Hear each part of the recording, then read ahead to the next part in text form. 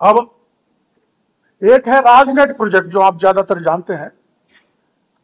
राजनेट project में दोषी अधिकारी है प्रबंध निदेशक ये हाईकोर्ट में लगा हुआ है। Akhil Arora OSD telecom, Y K Maurya, director finance Nilesh Sharma, तत्कालीन अधिकारी वेद प्रकाश यादव, जिसको अभी चल रहा है। एक कुलदीप यादव, वर्तमान अधिकारी सीपी सिंह आशीष गुप्ता, वित्त अधिकारी, कौशल सुरेश गुप्त, ये लोग हैं।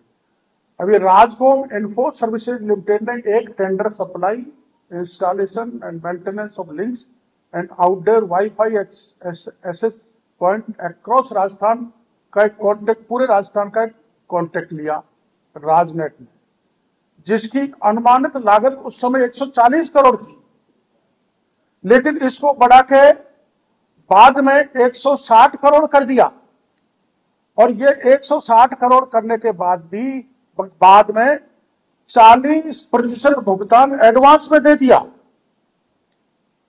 कोई इंस्टॉलेशन नहीं उससे पहले एडवांस में दे दिया। और आ, आ, इस इसको भी एक छोटी कंपनी से जिसका नाम है मेरेल टेल कॉरपोरेशन से इसका काम कराया गया।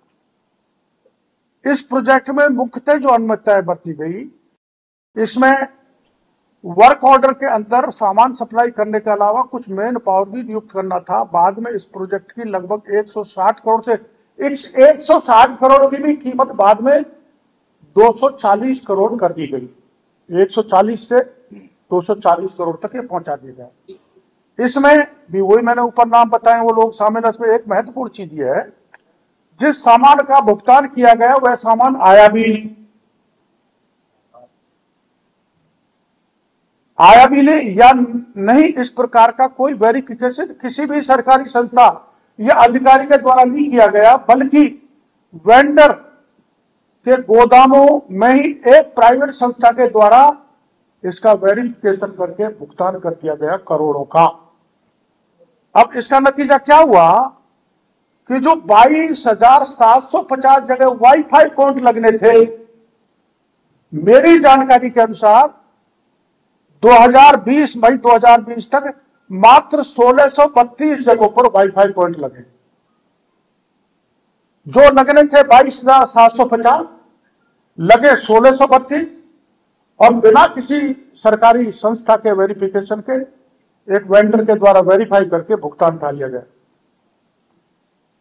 ये लंबा बाद में भर्ती घोटाला एक भर्ती घोटाला है जो इसमें सैकड़ों अधिकारी कर्मचारी हैं जो राजस्थान सरकार ने, आरपीएससी ने मिलके सारे नियमों में ताक पे रखकर इनका सिलेक्शन कर दिया। सिलेक्शन भी हाई ग्रेड छियासठ सौ पर छियासठ सौ का पे स्केल है, जो कि एडीएम का होता है। एडीएम के स्तर के दर्जनों अधिकारियों को इसमें आईटी में नियुक्ति दे दी। ऐसे ऐसे लोग मैं आपको अगली माननीय अध्यक्ष जी की और प्रतिपक्षी नेता से परमिशन लेकर नाम बताऊँगा, जिनके पास डिग्री नहीं है।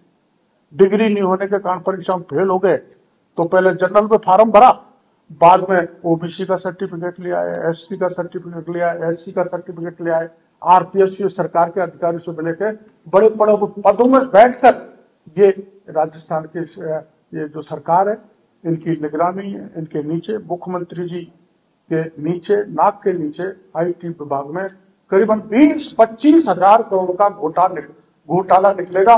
साढ़े तीन हज़ार करोड़ तो मैंने आपको आज प्रमाण दे दिया ऐसे में मान्य अध्यक्ष जी की इजाज़त से दो चार पाँच और पत्रकार वार्ता करूँगा। ये भर्ती घोटाला भी बहुत बड़ा है और आपको पंद्रह बीस हज़ार करोड़ तक का आईटी घोटाले का प्रमाण दे दूँगा। मैं माननीय मुख्यमंत्री जी से मांग करूँगा। वो कहते हैं कि मैं इन्हें ईडी को बहुत पत्र लिखे। ईडी राजस्थान में नहीं आती। मैं मुख्यमंत्री जी से कहना चाहता हूँ, हम सरे आम हमारे अध्यक्ष और राठौर साहब मैं इस सरकार पर आरोप लगा रहे केवल आप आईटी में ईडी बुला लो। ईडी नहीं बुलाना चाहते तो सीबीआई को दे दो। पंद्रह बीस हज़ार करोड़ रुपए का घोटाला निकलेगा, और अधिकारियों के अलावा अगर ये आज मुख्यमंत्री जी तक नहीं चलेगा है, जो पैसा राजस्थान से जा रहा है, देश की कांग्रेस को पोषित करने के लिए वो नहीं निकला है तो मैं राजनीति छोड़ दू